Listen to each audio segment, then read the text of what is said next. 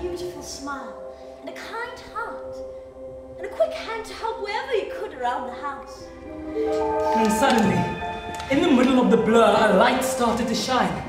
Small at first, but it grew and grew.